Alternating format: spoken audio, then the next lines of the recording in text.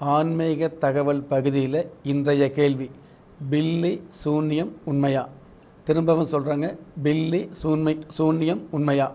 இந்த கேள்விக்கு இந்த கேள்விக்கான பதிலை இன்றைய நிகழ்ச்சியில் பார்க்க இருக்கிறோம்.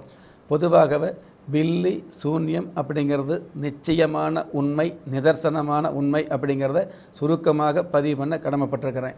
அதே சமயத்தில் அந்த பில்லி சூன்யம் அப்படிங்கிற விஷயத்தை வச்சு எல்லோரையுமே நம்ம எளிதில் வீழ்த்தி விட முடியுமா அப்படின்னு கேட்டிங்கன்னா நிச்சயமாக முடியாது அப்படிங்கிற விஷயத்தையும் இந்த நேரத்தில் உறுதிபட தெரிவிச்சுக்க கடமைப்பட்டிருக்கிறேன்.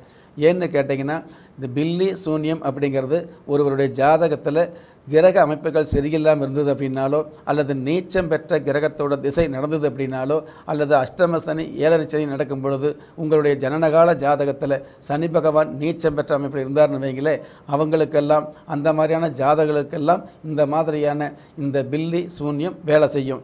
ஆனால் எந்த ஒரு ஜாதகத்தில் குரு பகவானுடைய ஆதிக்கம் அதிகமாக இருந்துகிட்டு இருக்குதோ சனி பகவானுடைய ஆதிக்கம் அதிகமாக இருந்துகிட்டு இருக்குதோ சந்திர பகவானுடைய ஆதிக்கம் அதிகமாக இருந்துகிட்டு இருக்குதோ சூரிய பகவானுடைய ஆதிக்கம் அதிகமாக இருந்துகிட்டு இருக்குதோ அல்லது எந்த ஒரு ஜாதகத்தில் எந்த ஒரு கிரகமுமே நீச்சம் அப்படிங்கிற அமைப்புக்கு போகாமல் இருக்குதோ அந்த மாதிரியான ஜாதகர்களுக்கெல்லாம் இந்த பில்லி சூன்யம் வேலை செய்யாது அப்படிங்கிற விஷயத்தை இந்த நேரத்தில் பணிவோடும் உறுதியோடும் தெரியப்படுத்த கடமைப்பட்டிருக்கிறேன். நிறைய பேர் வந்து பார்த்திங்கன்னா தன்னுடைய வாழ்க்கையில் ஒரு நல்லது நடக்காமல் தேவையில்லாத தொழில் நஷ்டம் தேவையில்லாத சங்கடங்கள் வந்துன்னு வைங்களே யாரோ ஏதோ செஞ்சு வச்சுட்டாங்களோ அல்லது பில்லி சூன்யம் பண்ணி வச்சுட்டாங்களோ அப்படிங்கிற கவலை நிறைய பேர் கிண்டுகிட்டு இருக்கும். அந்த மாதிரி கவலை வேண்டாங்க. பில்லி சூன்யம் அப்படிங்கிறது நிச்சயமான உண்மை.